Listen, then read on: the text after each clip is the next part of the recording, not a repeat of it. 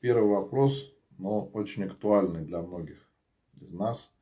А как не отвечать на гадости и уметь сдерживаться? А, смотрите, Элла, так понимаю, ник, если правильно прочитал.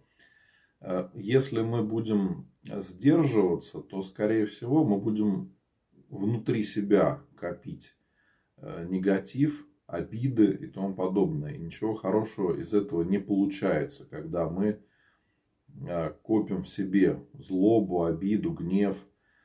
Поэтому единственный путь – это менять отношение к тому, что происходит.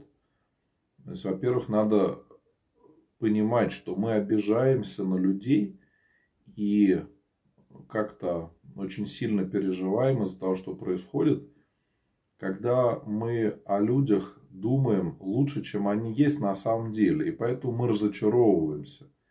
Потому что если бы мы знали, что человек э, грешный и может там, сделать что-то нехорошее, но мы не будем на него обижаться, потому что мы прекрасно понимаем, что это часть этого человека, он способен сделать какой-то нехороший поступок. Поэтому нам надо снижать планку в общении с другими людьми. А вот по отношению к себе, наоборот, надо быть строже.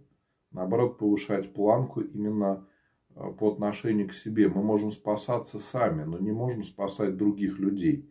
А мы зачастую наоборот себе позволяем даже какие-то грехи, может быть, Э, прощаем все, а вот другим людям не прощаем. Из-за этого возникает такое раздражение. Вот